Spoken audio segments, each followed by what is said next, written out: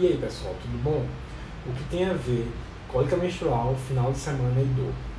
Bem, para falar sobre isso eu escolhi um artigo que saiu no Journal of Pain Research que fala sobre dismenorreia, que é o termo técnico médico para falar sobre cólica menstrual, em que as mulheres que sofriam desse tipo de dor, que é uma dor cíclica de padrão crônico, porque ela sempre tem, e que se agudiza. Então, ela sofre dois padrões de dor: a dor crônica, que tem agudização mensalmente, no caso das mulheres têm um ciclo regular menstrual, tá?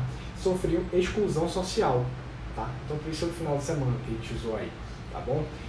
Ela sofreu exclusão social. Essa exclusão era tanto promovida pela dor, quanto piorava a dor que elas já tinham. E o que é que o estudo fez? O estudo pegou, separou as mulheres que tinham dismenorreia em dois grupos e simulou uma realidade virtual com elas. Eles faziam um pré-teste para o estímulo doloroso previamente, o estímulo doloroso eles frio e pressão, e faziam um pós-teste após essa simulação. A simulação era a mulher interagir com um grupo de pessoas virtuais, em num grupo deles, num braço do estudo. Elas tinham uma boa interação, no outro braço elas tinham sofrido um tipo de exclusão social. Tá? Exclusão social pode ser causada dor como?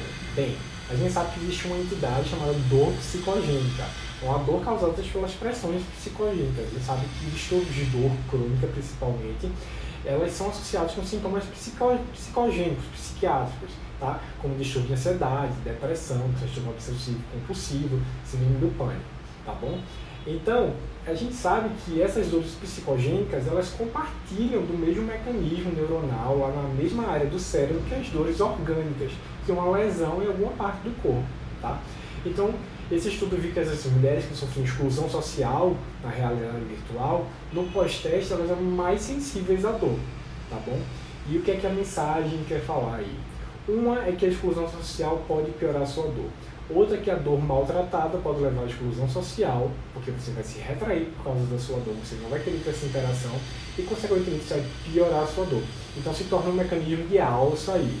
Você tem dor, você se exclui da sociedade, você piora a sua dor e você vai continuar esse ciclo que não para. Então, o principal aí é você procurar a causa da sua dor, você procurar tratar bem a sua dor e, principalmente, não querer se excluir socialmente e tratar todas as comorbidades que a dor crônica pode causar, tá bom?